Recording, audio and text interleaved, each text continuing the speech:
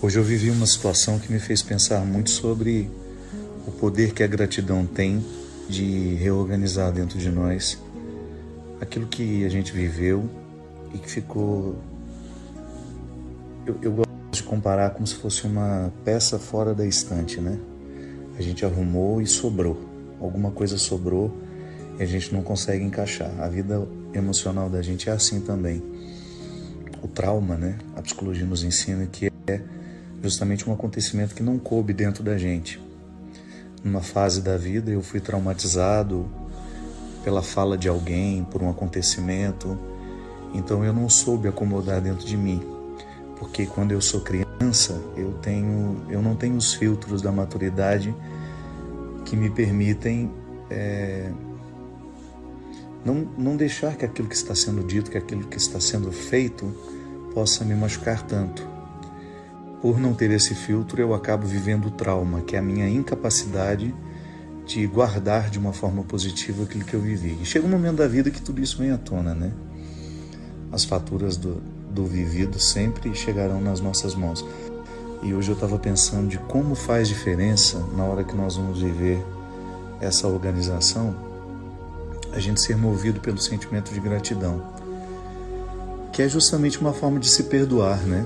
Às vezes a gente não consegue olhar para aquilo que a gente viveu, para, naquela, para aquelas situações em que a gente fracassou, em que a gente não teve condições de dar a melhor parte, de, de fazer da melhor forma. Então aquilo não cabe dentro de nós e a gente vai levando uma amargura, e que não faz sentido, né? Porque a amargura que a gente sente hoje não corrige o erro do passado. Eu sempre gosto de fazer a diferença, diferenciação entre a culpa e o arrependimento.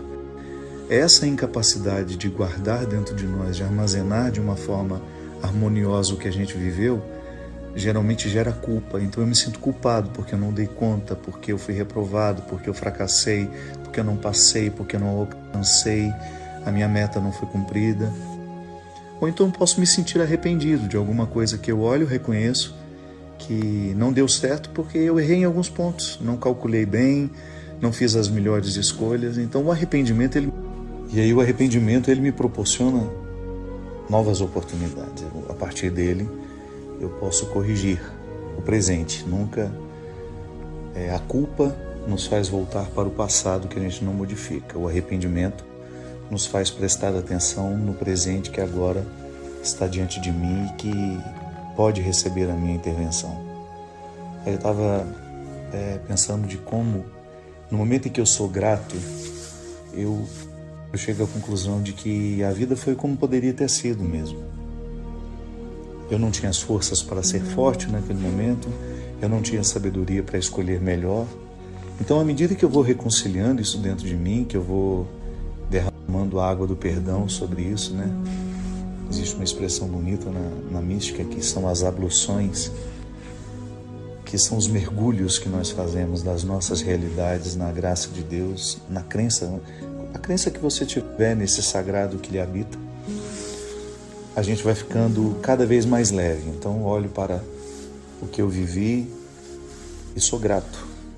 Sou grato por tudo. Eu fico pensando, minha gente, se eu tivesse sido privado de todas as situações que me fizeram sofrer, certamente eu não teria alcançado nem 20% do que eu já alcancei de mim.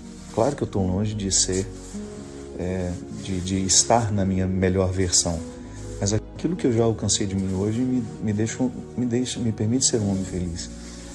E tudo isso é porque, de alguma forma, eu agradeci. Tive uma vida muito difícil, tive, tenho até hoje, tenho mas não reclamo não.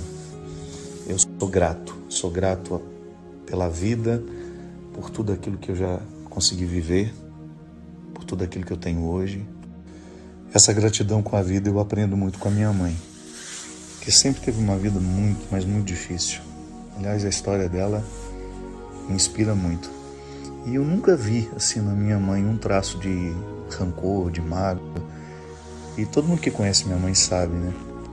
Ela tem um humor delicado, ela é engraçada, ela não precisa contar piada para fazer a gente rir. Muitas pessoas até num primeiro momento se aproximam dela porque é minha mãe, né? Mas depois que descobrem o ser humano que ela é, eu só fico pequenininho perto dela. Ela tem uma gratidão natural. Eu sinto que minha mãe colocou tudo o que estava né, desarrumado dentro dela na, na estante, na estante das emoções. Ficou tudo muito bem guardado. E hoje, quando olho para ela, eu tenho a oportunidade de, de, de ver um ser humano de bem com a vida mesmo. Me ocorre muito uma frase da tia Judite, que é a tia do Marcos Montenegro, que perdeu um filho, assim como minha mãe perdeu também. Ela contou toda a história, que é muito triste, e depois ela sempre finalizava assim: Mas está tudo certo. É isso mesmo, acho que quando a gente vive essa reconciliação diária com aquilo que nos aconteceu, a gente não vai dormir com os ressentimentos. E aí isso nos livra de nos sentirmos vítimas, coitadinhos de nós, olha como eu sofro. Porque na verdade esse é o grande. É, é, o, é o fato que nos paralisa, né? Quando a gente começa a se interpretar com vitimismo. Acho que fica muito mais leve a gente olhar para a vida, por mais difícil que ela seja, e ela é difícil para todos nós. Aí a gente olhar bem nos olhos dela e dizer: Dona Vida, a senhora não me deve nada, tá tudo certo.